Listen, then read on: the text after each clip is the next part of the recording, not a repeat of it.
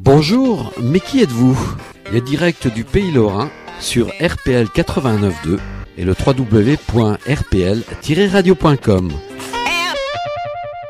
Carl Naour, responsable du service espace vert de la ville de Montigny-les-Metz. Alors en quelques mots, peut-on, comment peut-on euh, présenter le- les espaces verts de la ville de Montigny? Donc les, les espaces verts au niveau du fleurissement, on peut dire qu'ils sont sobres, mais on essaie d'apporter beaucoup de créativité au niveau des structures. Donc on essaie de surprendre. Euh, Quelle surface ça représente euh, en espace vert justement cette ville de Montigny? Et puis euh, vous avez une fleur supplémentaire depuis quelques années déjà. Donc au niveau des espaces verts, on a 32 hectares et demi d'espaces verts à entretenir. Donc euh, espaces verts, je parle vraiment de l'ensemble des espaces verts. Et effectivement, nous avons eu la quatrième fleur en 2010. Et il s'avère que cette année, on a le jury qui repasse pour nous la réattribuer, on l'espère en tout cas. Une équipe de collaborateurs de combien de personnes autour de vous? Donc on est 14 agents à plein temps et on prend aussi deux apprentis parce qu'on on est assez sensible à la- au côté pédagogique et on prend aussi quatre saisonniers durant l'été. Alors différents lieux, on peut découvrir ces jardins euh, ou plusieurs jardins justement euh, au sein de cette ville. Bah voilà, on a quelques jardins qui sont un peu entre parenthèses secrets, mais on a deux grands parcs. On a le parc de Courcelles et le jardin de Devant-Blory qui sont un peu emblématiques, pourtant deux concepts différents. Ici, nous sommes dans les jardins carrés, donc un jardin que un petit peu secret, mais où il est vraiment agréable de s'arrêter, de flâner un petit peu. Donc, euh, si vous voulez, je peux vous raconter un peu l'histoire de ce jardin, parce qu'il a, une histoire. Il y a encore quelques années, c'était des pré- préfabriqués qui, accueillaient une école. Et suite à l'arrêt de cette, école, le parking a été réhabilité et on a découvert que nous étions sur le site de l'ancien potager du château. Et donc l'idée de faire des jardins carrés pour faire des carrés de potager a germé. Donc on a défini ces carrés et introduit de plus en plus de plantes potagères. Donc euh, c'est un potager fleuri. Oui, alors le, le style est particulier parce qu'en en fait, il y a, il y a plein de carrés euh, sur ce jardin. Exactement. Et on profite de ces carrés aussi, comme tout à l'heure je vous ai parlé de la pédagogie, on expose tous les paillages qu'on utilise en ville. Donc on utilise, ici vous avez de la noix de coco, là vous avez du chanvre, là de la cause de sarrasin, des noisettes, euh, de, de l'amande. Donc en même temps on profite pour communiquer auprès de la population. Donc l'écologie est quand même quelque chose d'indispensable. Bah, pour nous, oui, c'est très important, sachant en plus qu'on a été labellisé euh, Agenda 21. Donc euh, pour nous, c'est quelque chose de, de très très sérieux l'écologie. Pas de pesticides. Et non, pas de pesticides, juste euh, beaucoup d'activités manuelles pour pouvoir désherber, c'est ça le- la difficulté, mais bon voilà, c'est le prix à payer, mais tant mieux. Alors il y, a- il y a des plantes particulières au sein de ce jardin carré? Bah, les plantes particulières, ce serait plutôt euh, les plantes potagères. Faut, beaucoup de gens ont l'habitude d'acheter maintenant les, les, leurs légumes dans les supermarchés et que c'est agréable de les voir euh, découvrir euh, le, un plant de courgettes, euh, les- des salades, des, des poireaux. Donc c'est c'est surtout ces plantes-là qu'on essaie de mettre en valeur dans ce potager. Pas d'aromatiques. Si, si, il y a des aromatiques.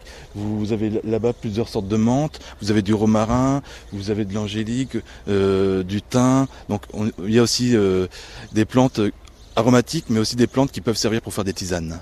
Alors c'est un jardin où on peut euh, se balader ça et là. Euh, Il n'est pas interdit de, de marcher sur la pelouse. Non, non, pas du tout. Même, on, on invite le public à venir marcher sur la, la pelouse pour mieux découvrir les carrés euh, et voir de plus près ce qui, ce qui- les plantes qui y poussent. Même si beaucoup de gens qui passent, euh, comme les carrés se touchent les uns des autres, n'osent pas toujours venir dedans, mais une fois qu'ils sont dedans, ils ont du mal à en ressortir. Alors il y a un assortiment en plus de ces, légumes. Il y a un assortiment de, quelques plantes fleuries qui égayent un petit peu ce jardin. Oui, oui, parce que faut apporter de la couleur et euh, donc on a différentes thématiques euh, au niveau du jaune ou du, rouge et aussi des plantes euh, des graminées. Donc on essaye d'apporter beaucoup de plantes vivaces, des plantes potagères, des plantes euh, annuelles. Donc c'est vraiment l'ensemble de tout ce qu'on peut retrouver sur Montigny-les-Metz. Alors ce jardin, il est euh, définitif ou il évolue au fil des, des mois et des saisons? Non, il évolue. Euh, déjà depuis sa création, il a fortement changé.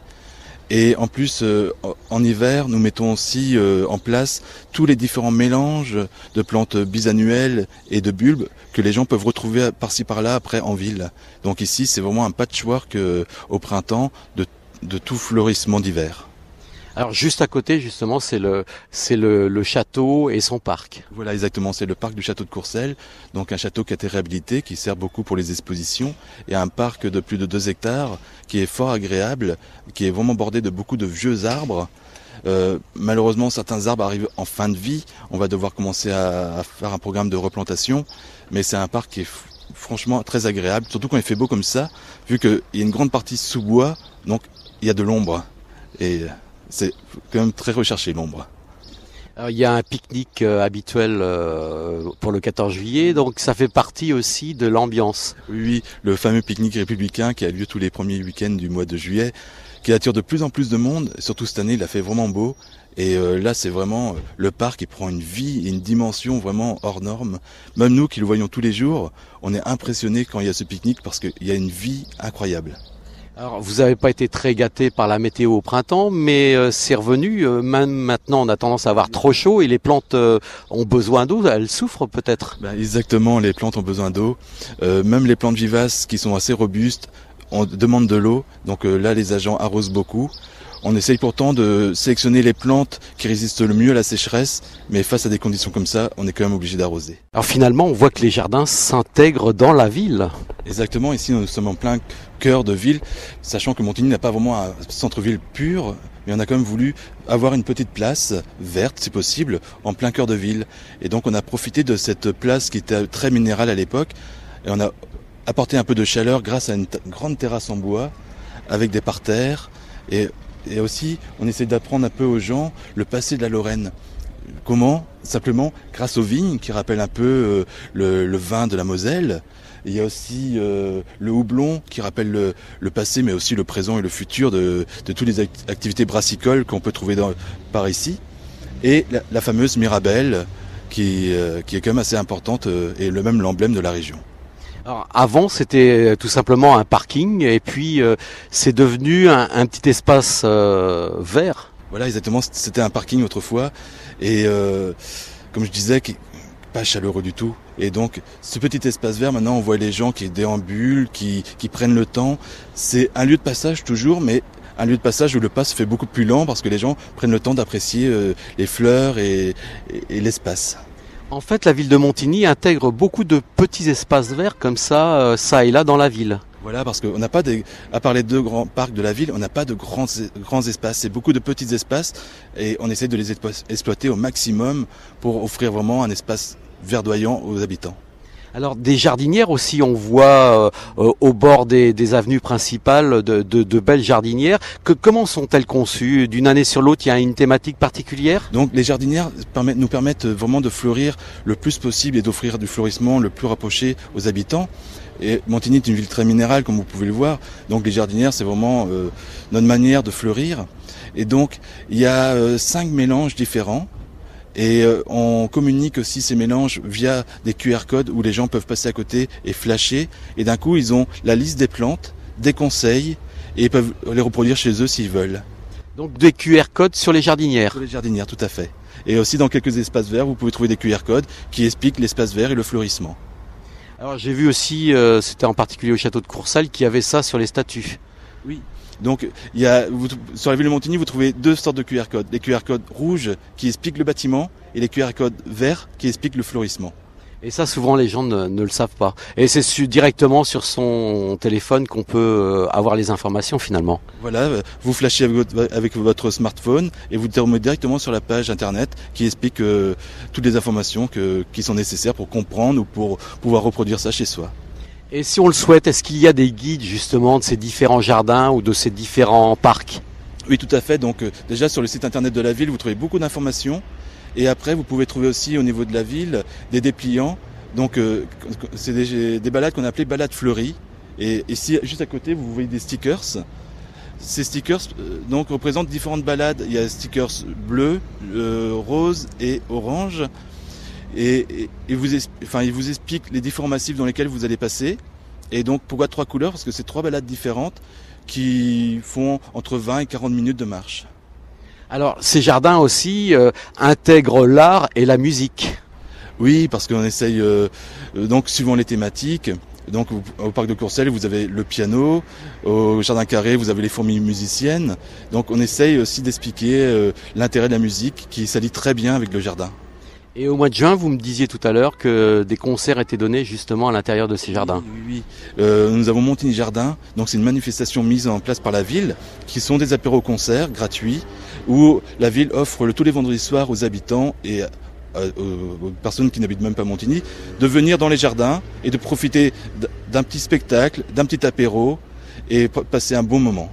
Alors donc les jardins, des lieux de vie C'est des grands lieux de vie et comme, comme je vous disais sur Montigny, il n'y a pas beaucoup de grands espaces, donc dès qu'on en a, on essaie d'apporter le maximum de vie grâce au pique-nique républicain au parc de Courcelles, aux animations Montigny Jardin dans les deux autres parcs. Et puis euh, les écoles qui s'intègrent dans les jardins carrés. Oui, donc euh, on essaie d'apporter de la pédagogie, donc on apporte aussi de la pédagogie dans les écoles même en faisant des jardins pédagogiques avec les enfants. Et là, nous avons un grand projet qui est un grand jardin pédagogique qui est en train de se mettre en place et qui, qui permettra de proposer des animations aux enfants toute une après-midi. Alors ça, va être quoi un petit peu ce projet? Donc là, c'est des, c'est apporter aux enfants euh, des conseils ou une initiation au jardinage, au, au sol, stress, au sol tressé, mais aussi euh, il y aura un poulailler avec des vraies poules, il y aura des animations pour des jeux. Donc voilà, ça, ça, ça permettra aux enfants de passer une après-midi et de faire des, plusieurs activités différentes. Alors, euh, on voit aussi que des bassins euh, rentrent dans les jardins. Je voyais ça à côté de l'église là tout à l'heure. Oui, on sait tous que l'eau est très important au jardin. l'eau déjà pour l'arrosage, mais aussi pour l'agrément. Il y a des grands bassins à Versailles et on sait que dès qu'il y a un, étang ou, un, lac, les gens aiment se promener autour. Donc, dans plein de, ici, dans pratiquement tous les jardins, vous avez un point d'eau. Et avec la chaleur qui fait, c'est bien agréable. Ça apporte un peu de fraîcheur, oui. On se trouve dans un autre lieu. Un autre lieu qui n'a rien à voir avec ce qu'on a déjà pu voir. Donc, euh, ici, actuellement, nous sommes dans un jardin bleu. Donc, ce qui peut être un peu étonnant dans une ville. Et euh, la vision est aussi un peu surprenante. Donc on est dans les jardins éphémères du jardin de, de Vamblory. Donc euh, actuellement c'est le jardin ici, c'est le jardin fait par euh, mon service. À côté vous avez le jardin fait par Sarreguemines. Il y a aussi la ville de Romba et de Metz qui ont participé à différents jardins. Alors pourquoi ces villes? Ces villes c'est simplement pour montrer et l'envie qu'on a de collaborer avec les villes qui sont aussi quatre fleurs en Moselle et de faire connaître au, public que ici sont à Montigny, c'est une ville quatre fleurs, mais on n'est pas la seule commune et que grâce au jardin, que par exemple, ils peuvent venir voir le, jardin fait par Sarreguemines et dire tiens Sarreguemines est aussi ville quatre fleurs, on va aller visiter et Sarreguemines est une, très jolie ville comme les autres villes d'ailleurs. Alors ici donc ces jardins éphémères et puis euh, euh, plein d'autres choses à découvrir. C'est effectivement ici c'est un peu le contraste. Nous sommes dans un jardin éphémère dans un jardin qui est vraiment développement durable. Donc euh, on, ça peut être une dualité, mais ça va très bien ensemble. Donc effectivement, le jardin de Vamblory a été conçu de manière développement durable par sa conception et par sa manière d'être entretenu, et euh, par ses plantations, par le, la récupération des eaux de pluie des, des rues environnantes, la roselière qui permet d'épurer l'eau et de la remettre dans la nappe phréatique. Donc vraiment un concept de développement durable et nous sommes dans un jardin éphémère qui a une vocation de vie beaucoup plus courte. Alors c'est un jardin qui est euh, relativement récent à Montigny. Oui, le jardin de Vamblory a été inauguré en 2010, donc euh, il a quelques années d'existence. Il commence à, mûrir, mais il est encore, c'est encore un jeune jardin. Et euh, je pense que dans dix ans, il sera, ça sera un jardin magnifique. Alors, euh, en parcourant justement la ville de Montigny ensemble, euh, vous me disiez chaque année il y a un thème différent. Euh, cette année c'est la peinture, c'est ça? Non, non. oui, chaque année il y a un thème différent. Cette année c'est Montigny vivre au jardin. C'est c'est différentes activités qu'on peut faire dans son jardin. On peut bouquiner, on peut se détendre. D'ailleurs ici vous trouvez un lit qui représente un peu dormir, faire la sieste au jardin. Et vous avez l'art au jardin, les loisirs créatifs. C'était pour ça que vous avez vu un chevalet et les pots de peinture. C'était parce que comme Monet qui peignait dans son jardin, les nymphéas, tout ça. Donc c'est un peu ça aussi. Donc euh, c'est communiquer à travers le fleurissement et donner des indices de compréhension des massifs. C'est vrai que des lieux, certains lieux, on voyait des arrosoirs, euh, d'autres donc des pots de peinture. Voilà. Donc euh, effectivement, c'est pour ça on essaie de surprendre un peu au détour d'une rue. Tiens, on tombe sur des arrosoirs. Pourquoi des arrosoirs? Parce que c'était juste pour un petit rappel. L'eau est, nécessaire à la vie et indispensable au jardin. Et souvent dans les, jardins, dans les jardins, dans les potagers, on trouve des arrosoirs un peu partout. Et donc là, on les a regroupés et mis de manière artistique au-dessus du fleurissement. Alors, euh, faire venir euh, justement ces villes euh, quatre euh, fleurs, ça n'a pas été toujours facile, si? Ça n'a pas posé trop de problèmes? Non, ils sont. je pense qu'il y a comme une certaine ouverture d'esprit au niveau des jardins et aller dans d'autres villes et montrer son savoir-faire, c'est aussi une reconnaissance. donc les villes sont venues et c'était pour nous assez agréable de travailler avec elles et surtout que c'est c'est peut-être le début d'une démarche où peut-être on sera invité un jour à aller chez elles aussi faire un jardin éphémère et ce sera avec plaisir qu'on ira. Alors jardin éphémère, vous êtes aussi au sein du jardin euh, euh, de la Connexie. Oui, on participe aussi à l'action euh, du Conseil général au jardin de la, Connexie, où la dernière on avait fait un jardin éphémère. cette, année, ils nous ont réinvité, donc c'est avec plaisir qu'on a été faire un deuxième, parce que leur concept c'est d'inviter les villes trois fleurs et quatre fleurs à fleurir pour allons fleurir la Moselle ensemble. Votre maire, il vous laisse carte blanche? On a de la chance d'avoir un maire qui apprécie énormément les jardins, qui apprécie notre savoir-faire et notre créativité. Donc on a carte blanche sous euh, son œil aiguisé, aiguisé bien sûr. Donc oui, on a une certaine liberté. Mais euh, s'il n'aime pas, il n'aime pas non plus. Hein, ça. mais il reste ouvert aussi. Euh, il peut très bien ne pas aimer certaines choses et laisser parce que c'est pas que pour lui qu'on fleurit. Donc on a cette cette chance ici. Mais c'est un œil de jardinier avisé. Oui, oui, oui. Et aussi, euh, c'est euh, un apporteur d'idées nouvelles. Souvent, il revient de voyage et nous dit j'ai vu ça, ça serait intéressant de faire ça ici aussi ou de développer le concept. Donc, il apporte des idées auxquelles nous on ne pense pas toujours non plus. On voit, c'est vrai aussi, euh, ben on voit des plantes un petit peu de, de, de toute euh, de toute origine au sein de Montigny, des plantes du sud, des plantes plus au nord. Euh, vous vous choisissez vraiment des plantes venues d'un peu partout. Oui, on essaie de faire découvrir le maximum de, de, fleurs différentes. On limite malgré tout les plantes venues du sud ou les plantes peu rustiques, mais malgré tout, pour nous, elles ont un intérêt, c'est qu'elles demandent peu d'eau. Donc voilà, c'est on préfère la végétation locale, mais malgré tout la végétation d'ailleurs nécessite moins d'eau, mais plus fragile en hiver. Alors ces plantes justement euh, plus fragiles euh, l'hiver, vous en faites quoi? Donc certaines, c'est des plantes annuelles, donc euh, malheureusement leur, cycle, leur cycle de vie font qu'elles disparaissent. Et les autres, on essaie de les conserver. On a une serre justement pour les stocker l'hiver, mais voilà, on n'est pas non plus surchargé de plantes à, à hiverner, donc ça va. Cette serre, elle a été aménagée cette année euh, elle a été construite l'année dernière, donc elle nous permet de d'hiverner les plantes d'hiver, de forcer ce qu'on appelle forcer, c'est-à-dire euh, planter les jardinières et les mettre dans un lieu pendant 3-4 semaines pour qu'elles aient de la chaleur et l'humidité pour vraiment bien développer. Et comme ça, quand on les met en ville, elles sont magnifiques déjà. Alors au sein de Montigny, oui, c'est combien de jardinières que vous mettez comme ça sur l'ensemble de la ville? C'est 260 jardinières et 237 vasques. Donc les vasques, c'est ce qu'on voit sur les candélabres. Donc c'est, ça nous permet de rythmer, d'avoir du fleurissement dans toutes les rues et d'apporter vraiment cette petite touche de fraîcheur et de couleur aux habitants. Et tout ça arrosé tous les deux jours? Tous les deux jours. On essaie d'avoir des. Donc on a fait un programme pour changer toutes nos jardinières. On a des jardinières où il y a des euh, réserves d'eau. Donc ça permet de limiter l'arrosage parce que euh, là avec des conditions comme ça, on effectivement on est obligé d'arroser tous les deux jours. Sinon euh, c'est une fois tous les trois jours, voire même une fois tous les quatre jours. Donc ce qui limite un petit peu. Et on met aussi du rétenteur d'eau dans, le terreau pour pouvoir euh, avoir cette matière qui, qui conserve l'eau et la redistribue tout lentement. Alors ici on est dans la partie sauvage de ce jardin. C'est la partie sauvage, mais aussi on peut dire la partie féerique du jardin.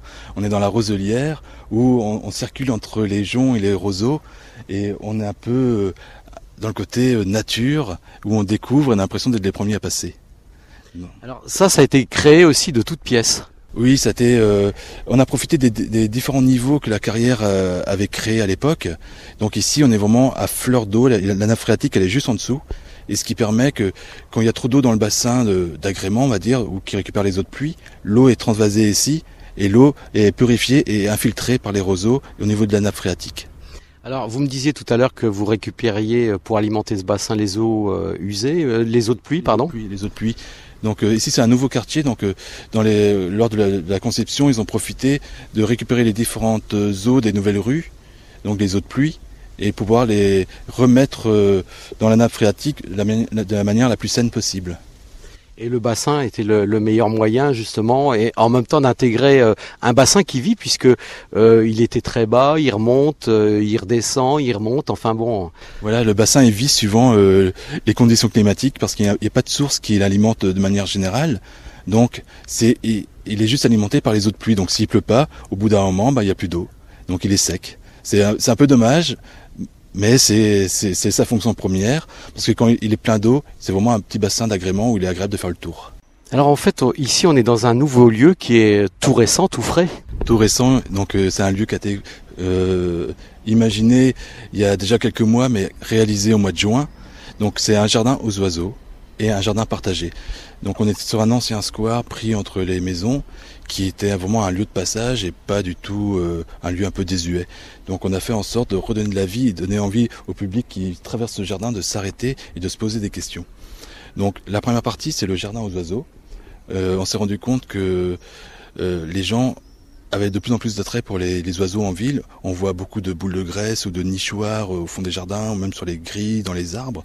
Et on s'est dit, bah, c'est vrai que nous, au sein des, espaces verts, on fait souvent des jardins pour les hommes, et après c'est aux oiseaux de s'adapter. Et on s'est dit pourquoi pas faire le contraire? Et donc on a fait un jardin où euh, les, toutes les plantations sont réfléchies par rapport aux oiseaux. C'est des plantations pour euh, qu'ils puissent se défendre avec des, végétaux épineux. C'est des végétaux qui leur permettent de nidifier. C'est des végétaux qui les permettent de se nourrir avec des graines, des, des baies, des fruits. Et donc on essaie vraiment de jouer dans ce concept-là. On a aussi euh, des refuges à insectes parce que on aime beaucoup les insectes, mais aussi les oiseaux. Donc ça rentrait aussi dans la, dans la catégorie. On avait un peuplier qui nous posait beaucoup de problèmes parce qu'il faisait d'énormes rejets. On a dû l'abattre et l'enlever, mais il est quand même resté sur le site. Il est un peu plus loin. On a tout le tronc du peuplier qui est là, qui sert d'arbre cavernicole. Donc on explique aux gens que les arbres, même morts, ils ont encore une utilité au jardin. Donc ça c'est un peu pour le, jardin aux oiseaux. Et on a le jardin partagé qui est le premier de la ville. On a eu beaucoup de demandes de jardins familiaux et on s'est dit, bah, pourquoi pas faire un jardin partagé où plusieurs personnes sur un même lieu, même s'ils connaissent pas vraiment le, jardinage, puissent euh, se fréquenter, découvrir. Et donc, on a 200 mètres carrés ici, euh, qui a déjà son petit succès, où on a de plus en plus de demandes pour intégrer l'association, donc l'association La Petite Vigne. Euh, donc on a mis en place un cabanon, un récupérateur d'eau de pluie, un composteur, et 200 mètres carrés avec des carrés de petits fruits, euh, des fruitiers. Il y aura des mirabelliers qui seront plantés à l'automne. Donc c'est vraiment euh, cette envie de, découvrir le jardin et aussi l'association a en charge, lorsqu'ils sont dans le jardin, de laisser la porte ouverte. Comme ça les gens qui passent ont le droit d'entrer dans le jardin et d'aller leur poser des questions. C'est aussi un lien social très important et ce qui résume vraiment les espaces verts qui, qui sont avant tout des liens sociaux euh, dans une ville. En plus, c'est juste à côté d'un collectif, donc euh, ça accentue davantage cette envie de jardiner. C'est un peu le but d'ailleurs, euh, de leur donner euh, cet espace qui était un peu désuet, de leur donner ça entre les mains et à eux, de le gérer et de faire ce qu'ils veulent. Bon, ils ont des impératifs, pas d'utilisation de produits phytosanitaires, des choses comme ça, vu que ça rentre dans la politique agenda 21 de la ville.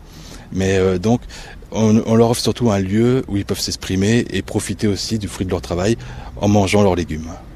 Alors, les projets de la ville de Montigny, il doit y en avoir pas mal quand même. Il y a un jardin qui est en train de se construire là encore? Oui, il y a encore notre jardin. Donc, le jardin qui a été construit il y a quelque temps, il y a aussi le jardin des mariés qui est assez important, qui est à l'arrière de la ville, où un bâtiment, l'ancien bâtiment de la police municipale a été détruit, et au lieu de faire un parking, même s'il y avait de la demande, la municipalité a préféré faire un petit jardin. Donc euh, ça, montre bien la, la, politique euh, des jardins à Montigny.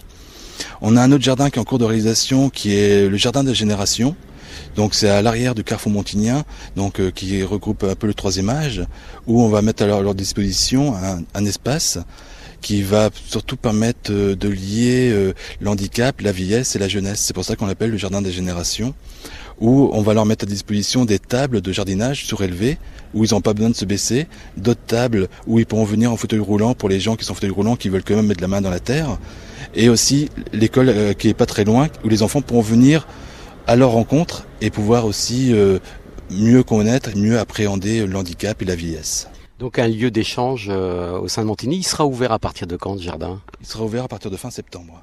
Donc euh, au moment de la rentrée des classes, euh, ça sera la, la grande découverte. Et puis d'autres projets plus lointains? On a encore plein d'autres projets, mais ils sont pas encore assez aboutis pour qu'on en parle. Mais effectivement, il y a encore beaucoup d'autres projets sur Montigny. Il faudrait que je revienne l'année prochaine alors. Justement, c'est un peu le but, il faut revenir. Euh, non, ce que je voulais, alors tout- oui, tout à l'heure on parlait des, des oiseaux, mais euh, il y a aussi les abeilles qui ont un rôle très très important justement pour dans ce fleurissement. Oui, les abeilles, bon, tout le monde sait très bien l'importance des abeilles. On se rend compte qu'il y a de plus en plus d'abeilles en ville et de moins en moins à la campagne, parce que à la campagne, bon, maintenant, ça, la tendance un petit peu tendance, enfin, ça a tendance à s'inverser, excusez-moi. Euh, à cause des produits euh, phytosanitaires, elles ont beaucoup diminué à cause des, des grandes euh, cultures monospécifiques. Donc, elles ont, elles ont trouvé vraiment leur euh, leur euh, leur oasis au sein des villes où on utilise beaucoup de fleurs différentes, euh, de, donc elles peuvent trouver du pollen, du nectar. Et pour nous, c'est assez important. Donc, on a une convention avec un, un j'allais dire un abeilleur, un apiculteur, avec un apiculteur euh, qui a pas mal de ruches au bord du canal. Et euh, ce qu'on souhaiterait par la suite, c'est d'avoir, pourquoi pas ici, on en a parlé il n'y a pas longtemps, de mettre au coin là-bas aussi une, une ruche euh, et trouver peut-être avec euh, cet apiculteur le moyen de pouvoir la mettre en place assez rapidement. Alors comment devient-on euh, justement responsable d'un service technique espace vert, celui de Montigny C'est le hasard ou il y a quelque chose qui vous conduit là? Bah, je pense que quand on aime ce qu'on fait, on arrive facilement à convaincre de sa passion et de se faire, entre parenthèses, employer pour pouvoir mettre à disposition sa créativité et son envie de bien faire. Alors vous êtes un jardinier passionné forcément? Bah, je suis avant tout un jardinier, donc euh, passionné. Oui, parce qu'il y a toujours plein de choses à apprendre, donc euh, il y a obligato- obligatoirement une passion derrière tout ça. Mais euh, c'est aussi un métier, il faut, faut être conscient que c'est un métier à part entière, mais qu'on peut lier un métier et une passion, on est jardinier. Ce sera notre mot de la fin en vous remerciant de, de m'avoir accueilli et puis fait découvrir euh, ces différents jardins. Merci beaucoup. A pas de quoi. Merci et que les gens qui veulent venir, on est on est aussi à leur disposition pour leur faire découvrir tout ça. Et puis on croise euh, les doigts pour la quatrième fleur qu'elle reste à Montigny. J'espère bien. C'était Bonjour, mais qui êtes-vous? Les directs du Pays Lorrain sur RPL 89.2 et le www.rpl-radio.com. Une émission produite et réalisée par Bruno Bronchin. À bientôt.